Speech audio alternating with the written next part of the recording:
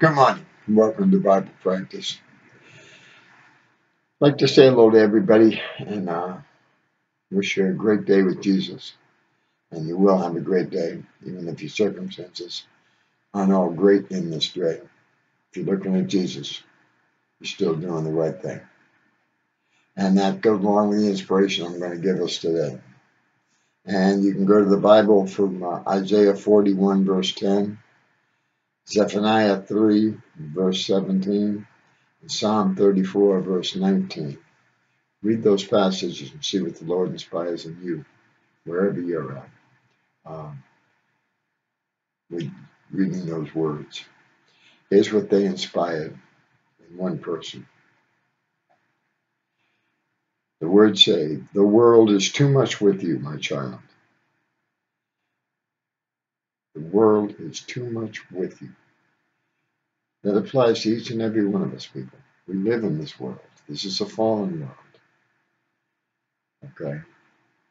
And even though we are trying to follow Jesus the best we can, we still live in this world. Our mind, too many times, focuses on the world instead of Jesus. Needs to focus on Jesus first. The world will be right there anyway. Jesus will be, if we're looking to Him, He'll be there to help us with whatever happens. Your mind leaps from problem to problem, tangling your thoughts in anxious knots. When you think like that, you leave me out of your worldview, and your mind becomes darkened. Though I yearn to help, I will not violate your freedom. See, he's with each and every one of us, but he will not violate our freedom. He gave it to us, he'll honor that. Okay. I stand silently in the background of your mind, waiting for you to remember that I am with you. When you turn from your problems to my presence, your load is immediately light, lighter. Circumstances may not have changed, but we carry your burdens together.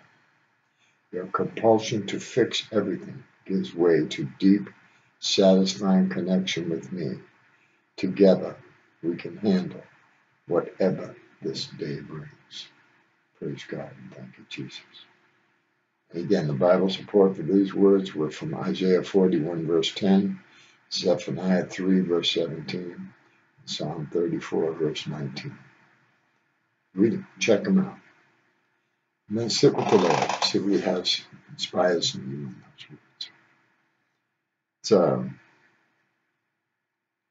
when I read those things, think about them. It's so true.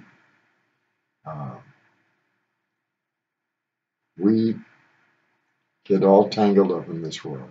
Really, it's not our world. We live in it, but we live here because God put us here. Okay. For a purpose, each one of us. I have mine, you have yours, and everyone around you, within your family and without your family. It's the same single purpose for God. Okay. And that's what we have to focus on. And we do. We, I do it. You do it. I mean, I know you do it because I do it. And everybody I see around me is doing it. We focus too much on the world. We have to start practicing focusing our whole day on the Lord and just walking through it with Him. It's still still going to be the same day. Circumstances are going to be there that He puts there. But it, within those circumstances is our teaching, what He wants us to learn. It may not be something we like to learn, or it may be a great joy, or it might be just peace. That's His choice, not ours. Our, our direction is to focus our mind on Him. Our minds are up here, focusing on Him. Think about Him. Be at peace with Him. Don't worry about all the things that need to be done in this world because He has tons of them. Don't blame God for anything bad. He doesn't create bad for you. He only wants good for you. Okay. Have a great day. I got things the Lord wants me to uh, to get done today, and um, first and foremost is just to sit with Him and be at peace, and walk with Him and be at peace, and work with Him and be at peace. Praise God. Thank you, Jesus. Bye bye. See you tomorrow, God willing. Love you. Peace.